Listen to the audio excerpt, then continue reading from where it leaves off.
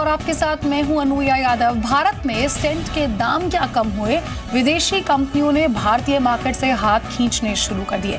मुनाफा कम होने के डर से ये विदेशी कंपनियाँ अपनी न्यू जनरेशन या प्रीमियम स्टेंट को भारतीय बाज़ार से वापस लेना चाहती है। इन कंपनियों को अपना फ़ायदा कम होता हुआ नज़र आ रहा है, लेकिन विदेशी कंपनियों के इस कदम ने कई सवाल यहाँ पर खड़े कर दिए हैं। क्या आने वाले समय में भारतीयों को दिल का इलाज कराना बड़ा सिरदर्द साबित होगा? क्या भारतीय बाज़ार में अच्छी क्वालिटी के स्टेंट की कमी हो जाएगी? इस पर हम आज लेकर आए हैं हमारी ये खास पेशकर तमाम खास मेहमान हमारे साथ जुड़ेंगे, लेकिन सबसे पहले आप ये रिपोर्ट देखिए।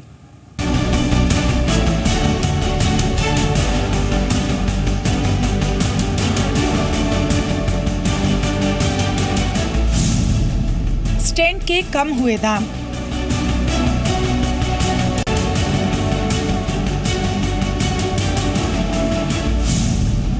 विदेशी कंपनियाँ हुई परेशान।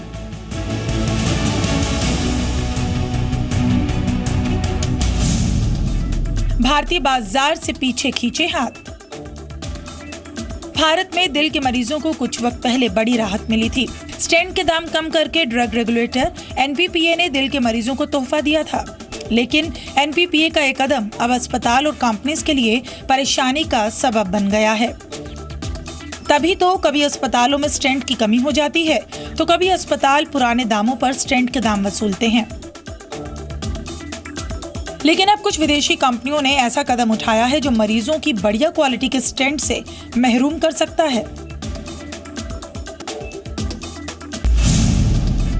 सरकार के स्टेंट के दाम तय करने के बाद विदेशी कंपनियों ने भारतीय बाज़ार से हाथ खींचने शुरू कर दिए हैं। मुनाफा कम होने का हवाला देकर अबॉट मेट्रॉनिक और बॉस्टन साइंटिफिक कॉरपोरेशन ने एनपीपीए को अपने न्यू जनरेशन स्टेंट वापस लेने का आवेदन किया है।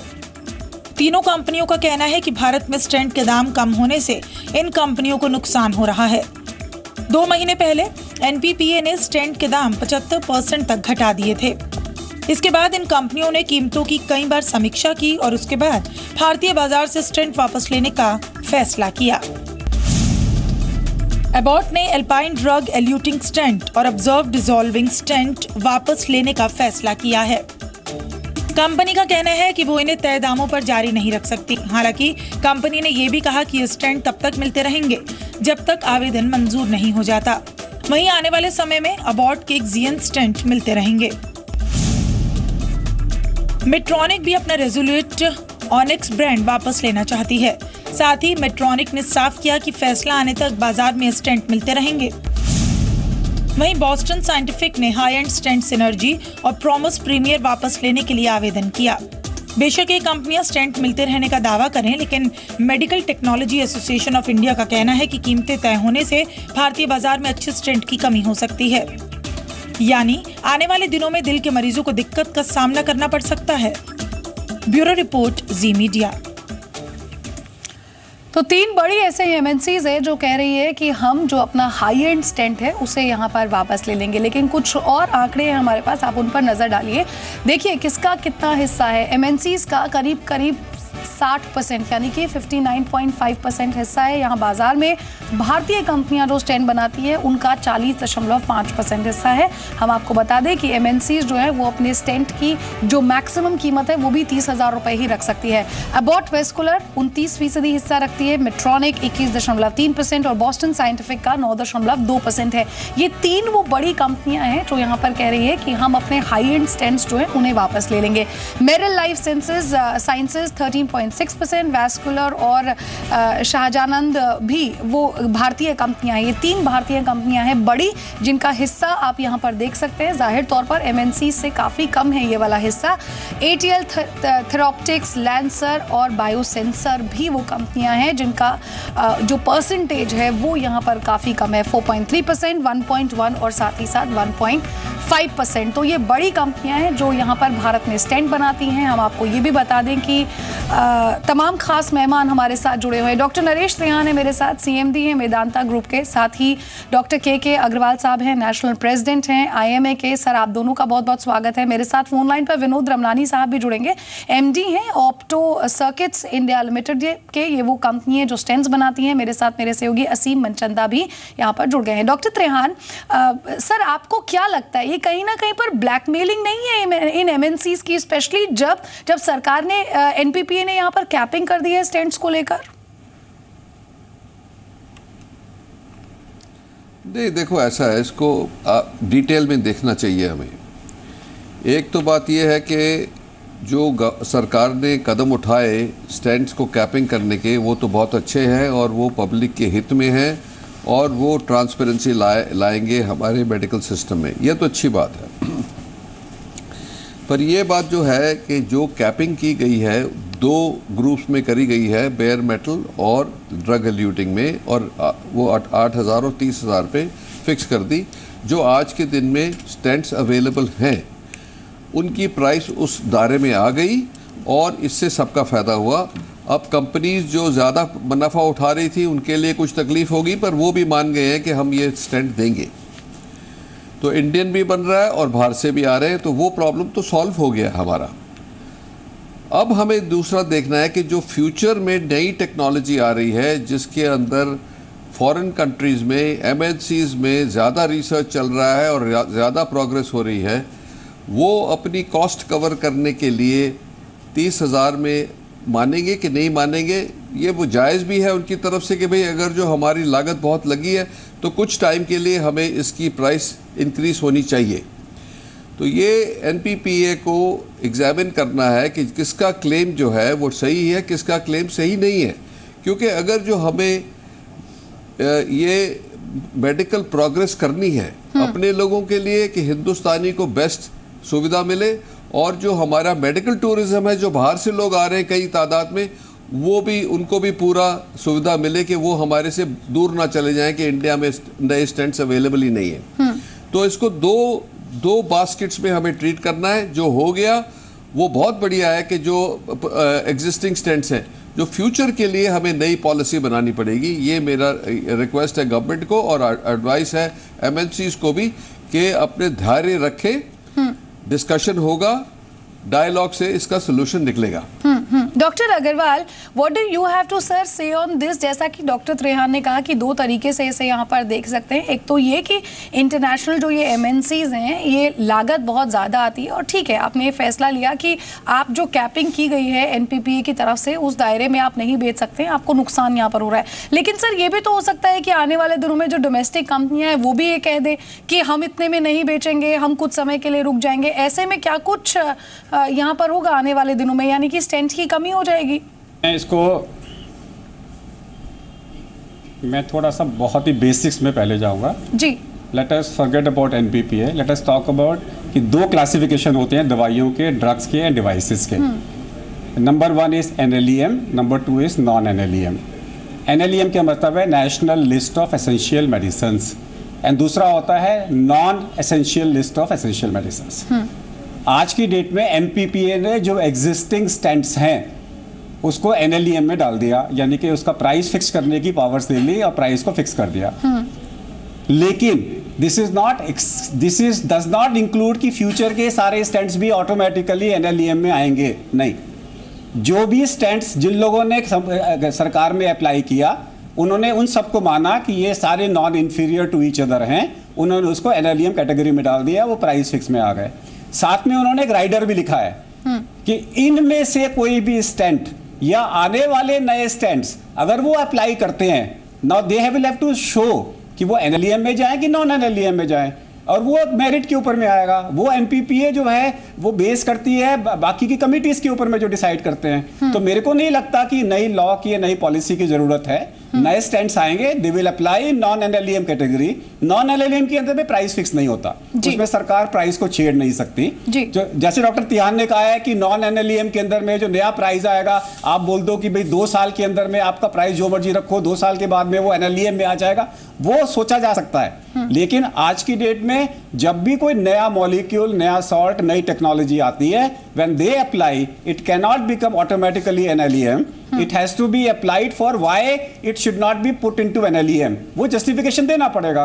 और अगर वो नॉन एन अब जैसे फॉर एग्जांपल एक बीपी की दवाई है लेसार्टन वो एनएलईएम में एक रुपए की है।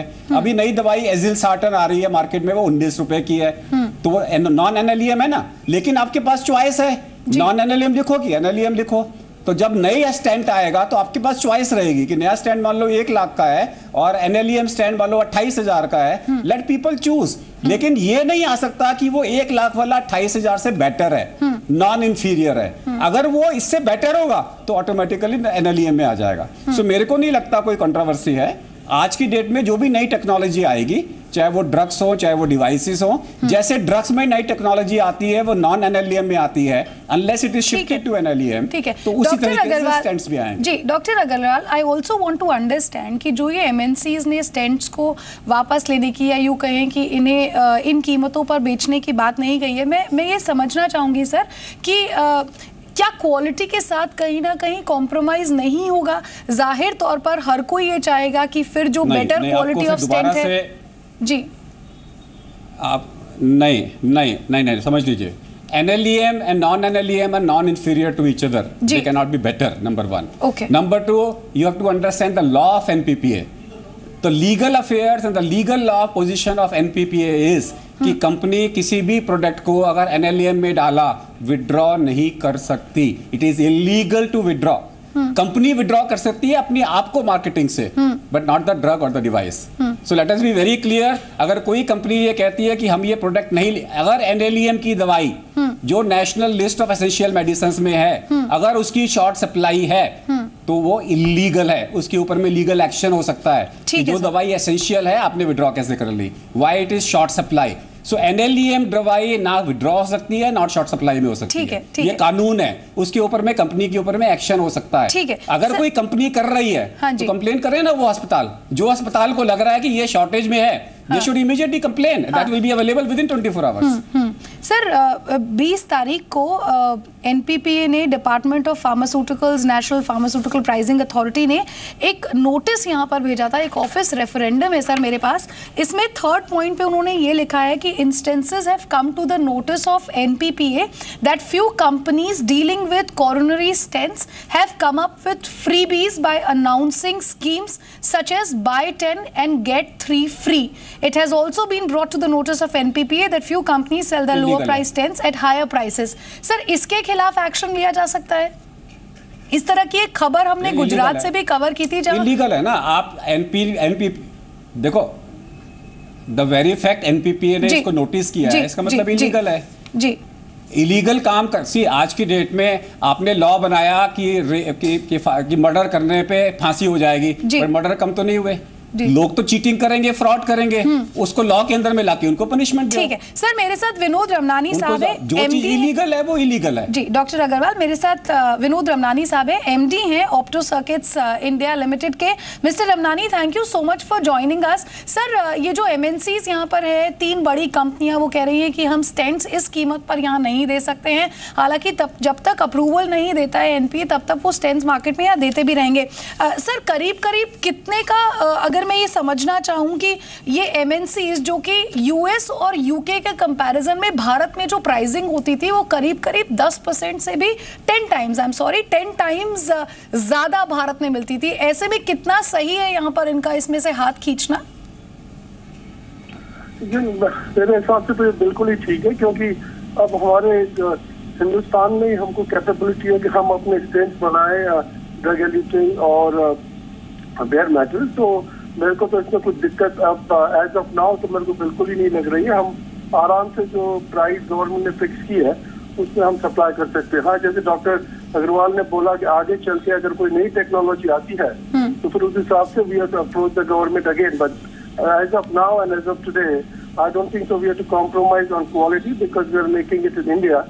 And the Indian products, yes, we can afford to say, हमारे, हमारे, know, we have a company in, in, in Germany and we have a good technology. Only thing is we are just doing the stents here and quoting them here. So I think we should be be okay with the pricing what government has fixed and the volumes are going to increase. So it will be advantage to us as other MNCs are going to pull out. So it will be good for the Indian companies to really, you know, uh, uh, make their uh, presence uh, felt in the in the market. Ji thank you mister Ramnani for joining us doctor Trehan एक और बात यहाँ पर ये भी उठती है कि uh, क्या गवर्नमेंट यहाँ पर जो फॉरेन कंपनीज़ है जो और एम हैं जो इस तरह के स्टैंड बनाती हैं सेम सॉल्ट कॉम्पोजिशन में सर uh, बहुत टेक्निकली मैं नहीं जानती हूँ लेकिन अगर गवर्नमेंट कुछ ऐसी एम के साथ टाई अप करके इस कैपिंग के अंडर में ही स्टैंड लाना चाहे तो क्या वो पॉसिबल है? न होना चाहिए। इसी हर एक जो ये कंपनीज़ डील करती है इनकी जो कमर्शियल प्रोपोजिशन होती है वो नंबर ऑफ़ स्ट्रेंट्स पे भी डिपेंड करेगी। जी।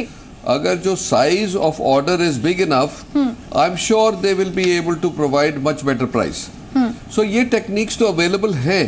अब जैसे हमने एक नेशनल लेवल पे ये तय कर लिया कि जो बेस्ट प्राइस मिल सकती है हमारे पेशेंट्स को वो मिलनी चाहिए और जो प्रॉफिट मार्जिन है हर एक का whether it is the company और और इम्पोर्टर और द डिस्ट्रीब्यूटर वो फिक्स्ड हो गया है।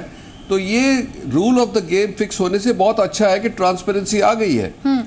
अब जैसे हम आगे चलेंगे नई नई चीज़ें आएँगी हमारे सामने बट उस पॉलिसी के फ्रेमवर्क में हम कई चीज़ें कर सकते हैं इस प्रॉब्लम को सॉल्व करने के लिए। सो so, सिर्फ़ इतना है कि we have to be sensitive to the need of the patient and sensitive to the fact कि क्या नई टेक्नोलॉजी कितना फ़ायदा कर रही है किस कॉस्ट पे कर रही है वो जस्टिफाइड है कि नहीं है। सो so, इसमें विवाद तो है नहीं। ये कंपनीज़ तो रिएक्ट करेंगी अभी। बट फिर से आएँगी वापस कोई ऐसी बड़ी बात नहीं है। बट एक चीज़ ये है कि हमें as an international institute country where we have to be fair to everybody we must play the rules by the uh, by international rules so that ये ना हो कि हम आइसोलेट हो जाएँ। ये नहीं होना चाहिए कि हम पीछे रह जाएँ बट ये भी नहीं होना चाहिए कि हम लूटे जाएँ। सो so, दो उसके बीच में जो बैलेंस निकालना है ये बहुत ज़रूरी है और एन और एन जो जो अथॉरिटीज़ हैं they should be talking to the the users the providers the patients and then decide in the best interest के क्या होना चाहिए आगे चलने के लिए। ठीक है। डॉक्टर अग्रवाल मैं मैं कुछ बोलना चाहूँगा। जी जी जी सर बोलिए बोलिए। मैं पहले पहले मुझे कुछ एक चीज़ बोलने दीजिए। अब मान लीजिए हम ये बात को मानते हैं कि कोई कंपनी एक दवाई एक स्टैंड को ला रही है और वो स्टैंड भारत सरकार बोलती है कि हम इसको नॉन एन में नहीं लाएँगे। जी। और वो कंपनी कहती है कि मैं इसको इंडिया में लॉन्च नहीं करूँगा। नाउ यू टू अंडरस्टैंड आज की डेट में कैंसर की अभी भी सत्तर प्रतिशत दवाइयाँ जो लास्ट पाँच साल में आई है इंडिया में अवेलेबल नहीं है। लेकिन इंडियन का एक लॉ है under that law you can import any medicine for personal use तो अगर मान लो नॉन एमरजेंट कंडीशन में मेरे को एक पर्टिकुलर डिवाइस चाहिए नॉन एमरजेंट कंडीशन मेरे को एक पर्टिकुलर डिवाइस चाहिए even today there is a law I can import anything any device from anywhere in the world वो लीगली मेरे को अलाउड है। लेकिन ऐसा नहीं होना चाहिए कि मैं नया उस दवा, उसको डिवाइस को नॉन एनएलएम में लाऊं और फिर हर आदमी को बोलूँ कि यही वाला स्टैंड यूज़ करें। No no. इसके लिए आज की डेट में कोई कंट्रोवर्सी नहीं है। जब नई टेक्नोलॉजीज़ आएँगी let them talk to the government we are with them IMA is with all the new technologies to come into non NLEM IMA का कोई ऑब्जेक्शन नहीं है कि अगर आप नई टेक्नोलॉजी लाते हो और उसको आप नॉन एनएलएम में लाना चाहते हो you justify why you want to bring it in non NLEM doctor then that will be only to affordable affordable society ठीक है। सर सर, सर आप जो कह रहे हैं कि बहुत सारी दवाइयाँ ऐसी है जो आप अगर मंगवाना चाहे तो मंगवा सकते हैं लेकिन सर वो सोल्यूशन तो उन लोगों के लिए हुआ जो अफोर्ड कर सकते हैं। जी जी जी सर उसी की तो बात जो जिसको हर आम आदमी के लिए एनएलएम सफिशिएंट है ना? आपने राशन किया आटे को मैदा राशन में नहीं है तो आटे से आपका काम चल जाएगा ना? मैदा क्यों खाना आपको? ठीक है। असीम मंचना मेरे साथ साथ जो है। 90 परसेंट लोग हैं उनको एनएलईएम का स्टैंड सफिशियंट है। ठीक है, सर। असीम मनचंदा मेरे साथ है। असीम, आप अगर कुछ सवाल पूछना चाहे, डॉक्टर त्रेहान से या डॉक्टर अग्रवाल से आप पूछ सकते हैं, लेकिन देखिए, जी बिज़नेस पर हमने शुरुआत की थी इस बात की कि कैसे स्टेंट की ज़्यादा कीमत होने की वजह से बहुत सारे लोग जो हैं वो परेशानी फेस करते हैं और इलाज बहुत महँगा हो जाता है, जिसके बाद सरकार ने कदम उठाया और स्टेंट की कीमतों में यहाँ पर कमी भी आई। लेकिन एमएनसीज का इस तरह से हाथ खींचना, अब एनपीपीए जो कि हमारे मेहमानों ने साफ़ कर दिया है कि कोई एक्शन यहाँ पर नहीं ले सकता है क्योंकि वो कंपनी टू कंपनी डिपेंड करता है। लेकिन अगर आने वाले दिनों में डोमेस्टिक कंपनियाँ भी ये कह देती है कि हमें पूर्ति नहीं हो रही है हमारा स्टेंट जो है हमें उतना प्रॉफिट मार्जिन नहीं दे रहा है।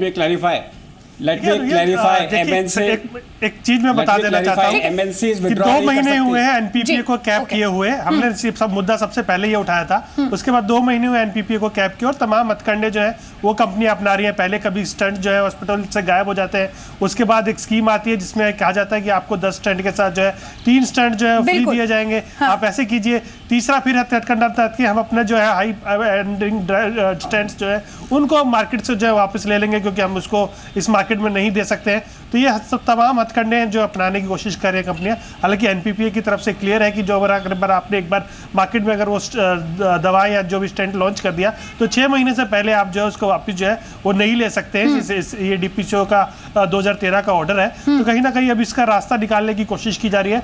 और जो हम एनपीपी की बात करें तो इसके ऊपर लगातार नज़र बनाए हुए हैं। और हो सकता है कि आने वाले दिनों में इन कंपनियों के खिलाफ किसी तरह की कार्रवाई जो है वो भी हो। Doctor Trehan I have again you know N P P A का एक सिक्सटीन जनवरी 2017 का ऑफ़िस मेमोरेंडम है सर जिसमें इम्पोर्टेड जो स्टेंट्स हैं, उसकी जो मिनिमम कीमत आती है, वो चालीस हज़ार रुपए है, लेकिन मैक्सिमम एक लाख अट्ठानवे हज़ार में उसे यहाँ पर दिया जाता है। सिमिलरली सर डोमेस्टिक की कीमत पचपन हज़ार आती है, एक लाख पचानवे हज़ार रुपए तक मैक्सिमम उसे बेचा जाता है, और जो प्रॉफिट यहाँ पर करीब करीब दिखाता है, वो एक हज़ार छब्बीस परसेंट और एट नाइन्टी टू परसेंट के करीब करीब दोनों का यहाँ पर आता है। सर ये प्रॉफिट मार्जिन बहुत ज़्यादा था, और ऐसे में कंपनियों के लिए ज़ाहिर तौर पर झटका तो ये होगा ही कि जिस टेंट को वो करीब करीब दो लाख रुपए में बेचते थे। अब उन्हें वो यहाँ पर आठ हज़ार रुपए बीस हज़ार रुपए तीस हज़ार रुपए से ज़्यादा में वो नहीं बेच सकते हैं। ऐसे में आ, क्या क्या अब एनपीपीए कोई एक्शन ले सकता है या फिर सरकार किसी तरह के फॉर्मूले पर आ सकती है? जैसा कि आप कह रहे थे कि कोई रास्ता यहाँ पर निकालना होगा। देखो वो जो पुराने प्रॉब्लम्स थे वो कैसे उसको स्टडी किया जाए या प्रोसिक्यूट जाए उसका तो मुझे कोई एहसास नहीं है। ये है कि हमें ये पता था कि ये जो प्राइसिंग आ रही है वहाँ से उसके ऊपर स्टैंप लगी होती थी एमआरपी की। अगर जो एमआरपी गवर्नमेंट की प्राइस है तो उन्होंने फिर कुछ गलत काम नहीं किया। अगर जो एमआरपी उल्लंघन था मैक्सिमम प्राइस गवर्नमेंट का तब तो कोई प्रॉब्लम था। अगर जो एक कट ऑफ़ पॉइंट आया जब गवर्नमेंट ने देख लिया कि ऐसा प्रॉब्लम आ रहा है और उसको बंद किया गया है तो बहुत बढ़िया बात है। तो इसलिए मैं कह रहा हूँ कि ये जो ट्रांसपेरेंसी आई है कि ये पता लग गया सबको कि इंपोर्ट प्राइस क्या है उसके ऊपर कितना प्रॉफिट बनाया जा रहा है। जी। मेरा ख्याल है सबने ये वेलकम किया है। कंपनीज़ के का प्रॉफिट कम होगा उनको ये भी एहसास होना चाहिए कि मार्केट एक्सपैंड होगी तो उनके हित में होगी। तो इतना कोई उनको घबराने की बात नहीं है इतना पागल होने की बात नहीं है। ये ज़रूर है कि एक उनका लेजिटिमेट क्वेश्चन जो है कि जो नई टेक्नोलॉजी आ रही है उसको हमें अप्रिशिएट करना है। ठीक है सर। अगर जो नई टेक्नोलॉजी वाकई में इतनी सुपीरियर है कि पेशेंट की लाइफ को इफ़ेक्ट पड़ेगा तो हमें उसके उसके ऊपर डील करना ही करना है क्योंकि पेशेंट की लाइफ पहले आएगी बाकी सब काम बाद में होंगे। बिल्कुल ठीक है। डॉक्टर अग्रवाल इसीलिए हम कह रहे हैं कि जो भी पेशेंट के हित में है उसको लाना है। ठीक है ठीक है। Doctor Trehan I am sorry मेरे पास टाइम थोड़ा कम है। डॉक्टर अग्रवाल एक एक एक सवाल बस यहाँ पर ये है कि कुछ भी हो मरीज़ को अच्छी क्वालिटी का स्टेंट मिलना चाहिए और सर ऐसा स्टेंट मिलना चाहिए जिसकी कीमत वो अफोर्ड भी कर सके। I am sorry sir NLEM does not mean कि क्वालिटी अच्छी नहीं है। NLEM NLEM means best quality number one number two non NLEM does not mean corruption अगर अगर सरकार को लगता है जब भी कोई भी चीज़ को आप एनएलईएम में लाओगे वो सस्ता होगा। जी। ये सरकार को पहले कर देना चाहिए था। हाँ। और अगर आप उसको एनएलईएम में नहीं लेकर आओगे तो प्रॉफिट मार्जिन हमेशा ज़्यादा होगा। ज़्यादा होगा। और वो प्रॉफिट मार्जिन का मतलब ये नहीं है कि करप्शन है। ठीक है ठीक है. Thank you so much sir for being with us doctor Agarwal doctor Trehan thank you so much Aseem Manchanda आपका भी बहुत बहुत शुक्रिया यहाँ पर. तो इन एम ने यहाँ पर ज़रूर अपने हाथ पीछे खींचने की बात कही है कि वो ये हाई क्वालिटी स्टेंट्स जो है, वो बाज़ार में अब आने वाले दिनों में नहीं लाना चाहते हैं क्योंकि प्रॉफिट मार्जिन का हवाला उन्होंने यहाँ पर दिया है. लेकिन जैसा कि खास मेहमानों ने यहाँ पर साफ़ कर दिया है कि better quality of stents will also भी अवेलेबल टेक्नोलॉजी बेटर होगी. उस तरह के स्टैंड भी बाज़ार में ज़रूर आएँगे। और कोशिश यही होगी कि उन्हें यहाँ पर एक रीजनेबल अमाउंट के तौर पर ही आ, आम आदमी को या फिर किसी भी ज़रूरतमंद को मुहैया कराया जाए। हमारी इस खास पेशकश में फ़िलहाल इतना ही। दीजिए इजाज़त। नमस्कार।